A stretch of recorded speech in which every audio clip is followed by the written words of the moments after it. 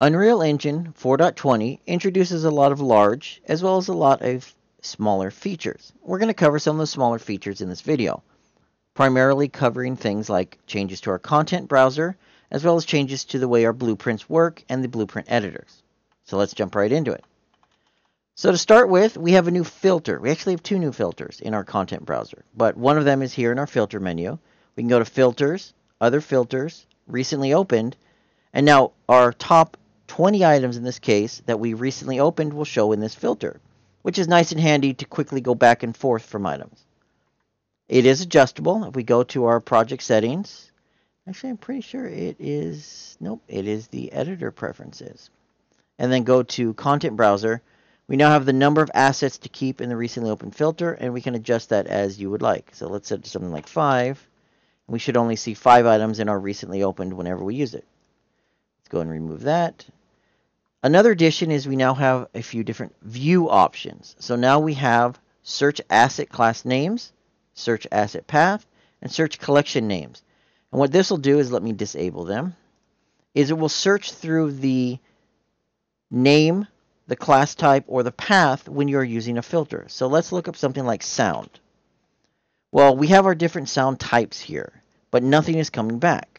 I know I have some sounds in here. My starter content has some sounds, but you know, I would like to find them. They're in here in my audio folder. still not showing up because none of my files are named sound. Well, if I go over here, and let's do the class names.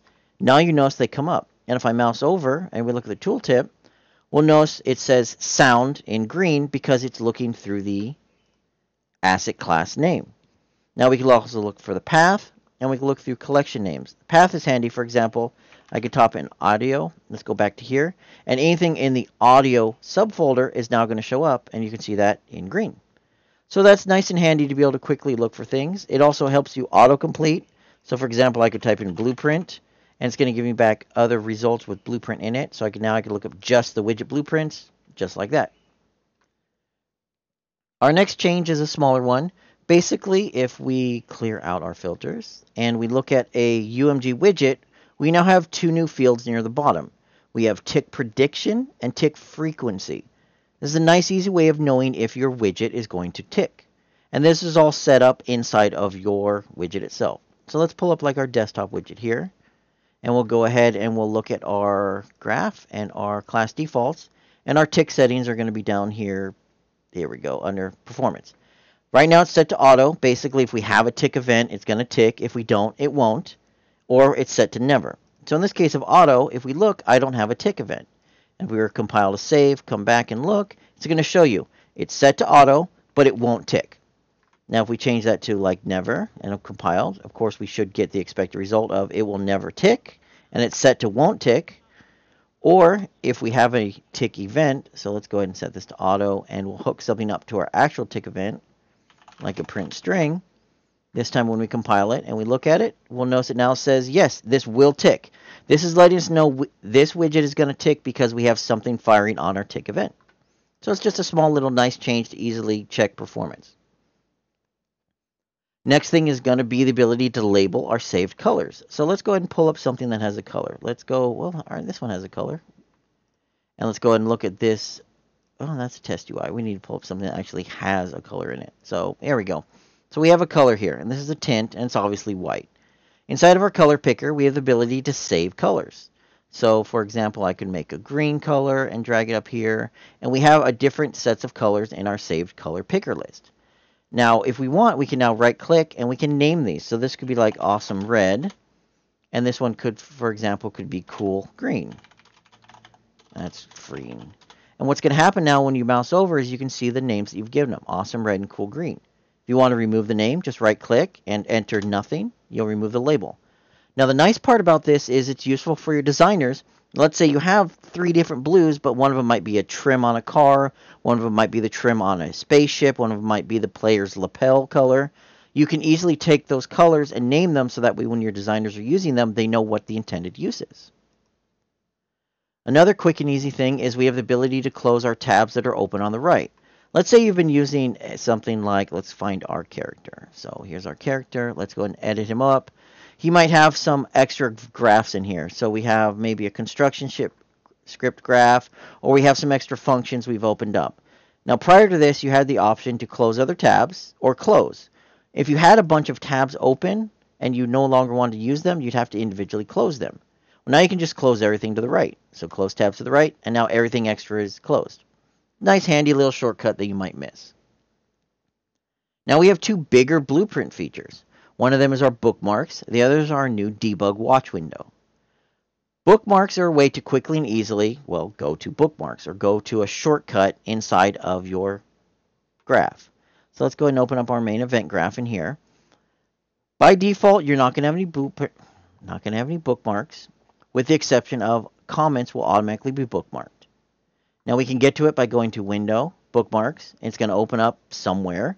Feel free to dock it wherever you want. I'm going to go ahead and dock it over here by my details panel, my, my blueprint panel, I guess. And it's going to show you, well, our blueprints. Blueprints, bookmarks. Like I said, by default, you can jump to any comment node easily. So let's go to here, and it'll automatically jump us to any of those. That can be disabled by clicking the View, Show Comment Blocks, and now you no longer see those by default. Any other bookmarks you may have set up, for example, I have one here called a construction bookmark. You can easily go to it. Now, my construction bookmark is in another function. If you don't want to see other ones, you can just do show bookmarks for current graph only. You'll notice now we only see this bookmark. If I go to my event graph, now we see our comment block only. And we don't see the one in the function. We'll turn that one back off. To create a bookmark, it's pretty simple. Find what you want to bookmark. So let's say I want to be able to easily get back to my entire graph. I'll go ahead and set it up how I want it. Click the star icon for a bookmark. We'll name it entire graph. And we're done. Now we have an entire graph bookmark. And we can come back to that from anywhere. I could be inside of here. Oh, I need to go back to my entire graph. And now I'm back to my entire graph. These bookmarks are for this blueprint only. You're not going to see blueprint bookmarks in other blueprints. And they are stored locally, so they're not going to affect the blueprint itself, and they're not going to screw up anyone else when you sync. They are your bookmarks stored locally for you. Our last new item is going to be our blueprint watch window. This is our new debug window. So let me close those down, open my character up again. We're going to go to window and we're going to go to debug. And now we have a new window. It's our debug window. By default, it's going to show you any watches that you may have set up. In this case, I have two watches set up and I have a breakpoint set up. This is a breakpoint. It's got a little inactive breakpoint node. It's got a little icon. This is a watch. It's got a little eyeglass. Now, what are those? Well, let me dock this up here. We'll go back to here and we'll look. And, well, here is my breakpoint that I've set up for debugging purposes. I'll remove it. We'll go back. It's gone. And I have a watch set up. You'll notice this says watching float axis value. Well, I want to know, for example, whenever my keys are pressed, and I want to know if this is actually working. So I've right-clicked, and I've told it to watch. Well, that was watch this value, and now it'll show up. Let's do this one as well. So now in my debug, I can now see the values of these when I am debugging or testing or playing. We'll go ahead and play. Now this is where it's kind of a pain in the butt. Unfortunately, well, let's actually, we need to play from here and make it easier. This watch window, even if I drag it off and move it somewhere else, I'll move it off screen. You can't see it. When I go back to here, it disappears. It is, well, it's debugging this blueprint, so it's going to stay with that blueprint. So a way around it, just drag off that blueprint, move it somewhere else. We'll move this over to the side so we can see our debug window. And now you can see we have an execution trace, which I'll show in a second, and then we have our watches. So here we can see our input axis event and our input axis event. We can see our values here. If I was to start using it, now you'll see them changing. As I use my keys for my different events, we are seeing our values in real time being displayed. And this is useful. It's like a traditional code debug watch window where we can see things in real time rather than having to watch the execution flow. Now, speaking of execution flow, if I was to go ahead and click my execution trace, well, it's going to slow down my machine because it's now 100 times a second, whatever my frame rate is, showing me what is going on. And you can see right now what's going on is all of these events are ticking, and you can see the time it's ticking. My add movement input node is ticking. My input axis move forward is ticking. All of these events are firing, and this is the actual order it's firing for this blueprint. And if we went back to our event graph, we of course can see that. We can see that we have all of our different input axis is firing off. Our mouse input axis is firing off. These ones, if I was to do something like push some keys, we'd start seeing those pop up on the event trace. It's a little hard to see because it's going so quickly. It's firing them all off. But this is useful, for example, if we're inside of our event graph, and we'll go ahead and debug, and we'll put a breakpoint here. Once it's broken, you can now actually go back and see the exact trace, and you can drill down, you can jump to any of these nodes. For example, okay, well this one fired, where's it at? You can click on it, and it's going to take you right to that event. Something that might help with that is if you take your debug window and dock it to the top here, you could actually see your graph and your debug window, and you can actually click and go back through each of them. So it's nice and handy. It brings the blueprints system kind of more in parity with a traditional code-based environment by adding in our nice debug window where we can watch things and we can have our event execution trace. And that's it. That was just a few smaller changes inside of Unreal Engine 4.20.